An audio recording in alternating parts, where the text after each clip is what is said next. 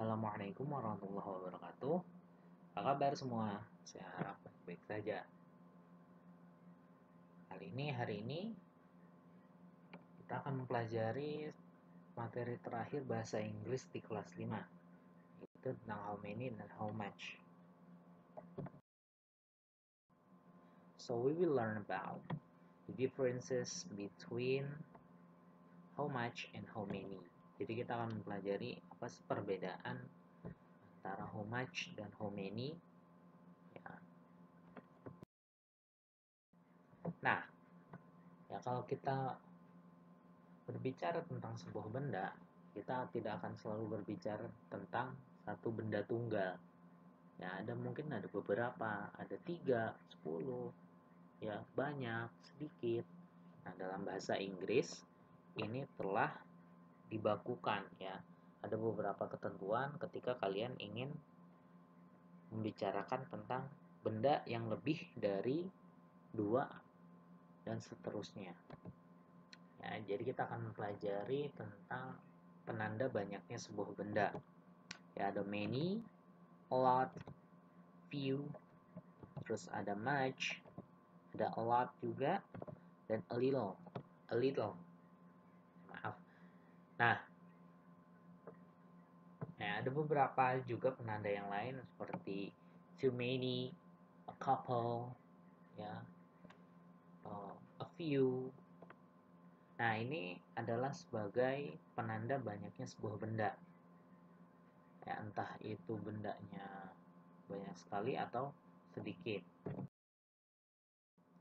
Nah, ya kalau kita lihat ini terbagi menjadi dua ya berdasarkan bendanya. Apakah bendanya itu dapat dihitung secara pasti atau tidak secara pasti. Nah, yang secara tidak pasti ya itu menggunakan kata a lot, a little, and much. Ya. Nanti di much itu ada turunannya how much, ya too much. Nah, itu adalah kata-kata ya penanda banyaknya sebuah benda yang mana bendanya tidak dapat ditentukan jumlahnya secara jelas atau biasa dalam bahasa Inggris bisa disebut dengan non countable ya non countable nah yang satunya lagi ya adalah kata yang biasa digunakan untuk menunjukkan banyaknya sebuah benda dan bendanya tersebut dapat dihitung secara jelas. Ya kalau tiga ya tiga gitu ya nggak ada tiga koma berapa. Jadi jelas ya ada a lot, few, and many. Ya nanti many turunannya too many atau how many ya. Nah, a lot itu bisa digunakan pada kedua-duanya ya. A lot itu artinya banyak. A little sama a few itu artinya sedikit. Ya much and many ini artinya banyak juga. Ya tapi much itu untuk hanya sekedar benda yang tidak jelas jumlahnya many itu yang sudah jelas banyak bendanya. A lot bisa dua-duanya. Makanya orang-orang ya dalam percakapan sehari-hari yang tidak formal itu biasa menggunakan a lot Nah, contoh non-countable nouns ya, kata-kata atau benda-benda yang tidak dapat dihitung secara pasti. Pertama ada gula. Ya, dalam satu genggaman kita nggak bisa hitung berapa jumlah butiran gula atau garam. Ya. Nah, makanya masuk ke non-countable. Nah, ini harus kalian tahu juga kenapa ketika kalian bertemu dengan contoh-contoh ini, kalian harus menggunakan much ya a little atau a lot. Ya jadi misalkan how much sugar do you need ya. Bukan how many sugar ya.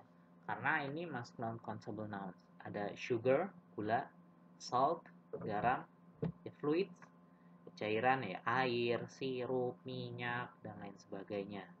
Gases ya seperti oksigen karbon dioksida karbon monoksida kita nggak bisa hitung dalam satu tabung itu oksigennya berapa. Mungkin ada jutaan bahkan miliaran. Selanjutnya ada kacang-kacangan atau grains seperti kacang hijau, kacang polong, beras ya.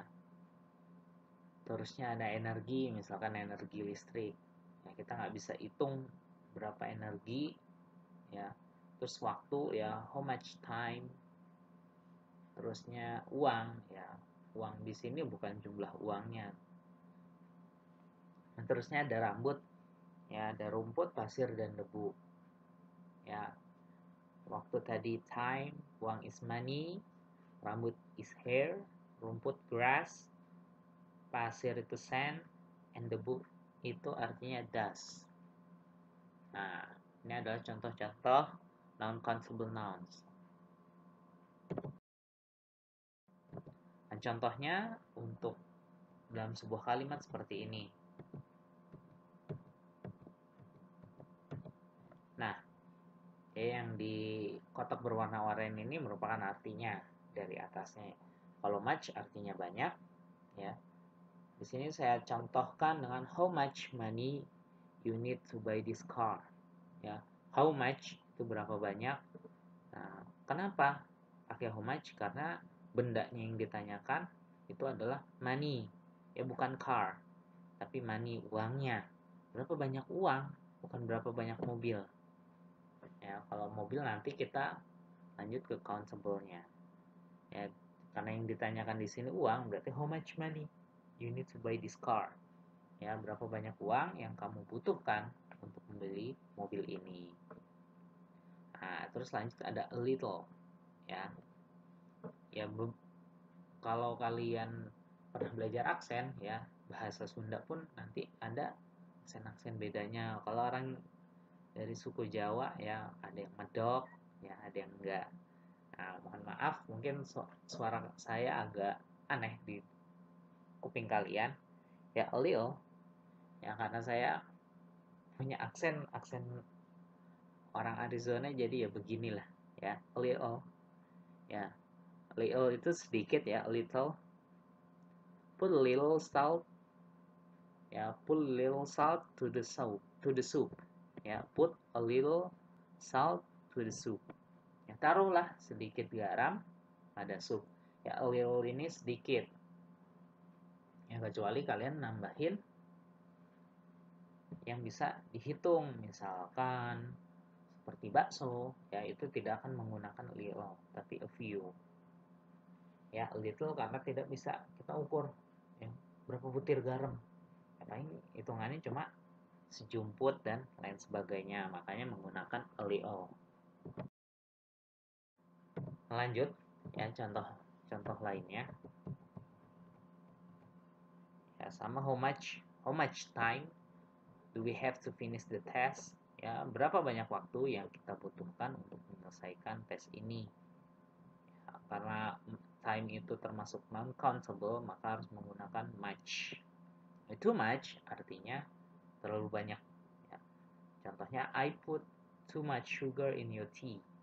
Ya, saya menaruh terlalu banyak gula pada tehmu, dalam tehmu. Ya, ini contoh non-countable nouns. Nah, selanjutnya kita berbicara tentang countable atau yang dapat dihitung secara jelas, secara tepat. Nouns itu kata benda. Ya, sini ada buku, apel, ya, book, apple, egg, chair, pencil, house, car, shoe, uh, plate, ya dan beberapa lainnya misalkan seperti uh, a pen ya pulpen terusnya ada pillow. Ya pillow itu bantal. And a box. And a uh, apa yang terakhir baju tuh a clothes ya. Nah ini adalah countable noun lanjut for example ya countable noun My sister has many doll. Ya. Ini many ya. Menggunakan many. Kenapa menggunakan many? Karena dolls itu dapat dihitung. Mungkin ada 10 ada 12 tapi kita nggak tahu spesifiknya. Kita tahu bahwa mainan itu ya dolls itu uh, boneka khususnya dapat dihitung. Ya. my sister has many dolls saudara perempuanku memiliki banyak boneka. Karena boneka ini nyata bentuknya tidak seperti garam jadi kita menggunakan many a few ya ini sedikit atau beberapa. Uh, can you bring a few bananas? Ya, dapatkah kamu membawakan beberapa pisang? Ya. Nah karena banana ini pisang ini bisa kita hitung juga ya, makanya menggunakan a few bukan a little kecuali banananya pisangnya ini udah jadi bubuk. Nah, banana banana powder gitu ya. Nah kalau sudah jadi bubuk kita akan ubah jadi little. Tapi itu untuk lain hari. Nah terima kasih. Semoga pembelajaran ini bermanfaat. Kurangnya saya maaf. Assalamualaikum warahmatullahi wabarakatuh